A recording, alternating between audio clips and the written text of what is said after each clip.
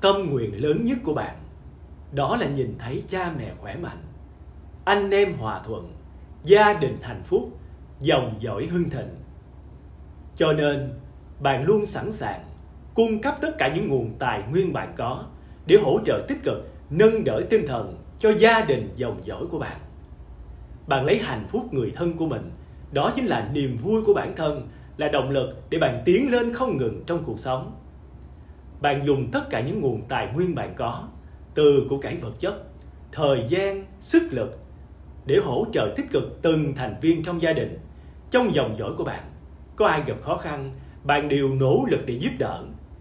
Tấm chân tình của bạn luôn truyền cảm hứng tích cực cho gia đình, cho dòng dõi của bạn, để họ noi gương theo bạn, để họ sống tích cực, sống lương thiện, mang nguồn tình yêu dồi dào lan tỏa khắp cộng đồng.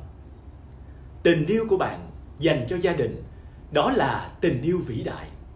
Bởi vì nó rất kiên định, cam kết và không lai chuyển. Bạn luôn ở lại bên cạnh từng thành viên trong gia đình của bạn để hỗ trợ tích cực cho họ, vượt qua những khó khăn chướng ngại trong cuộc đời, để đạt được ước nguyện của mình.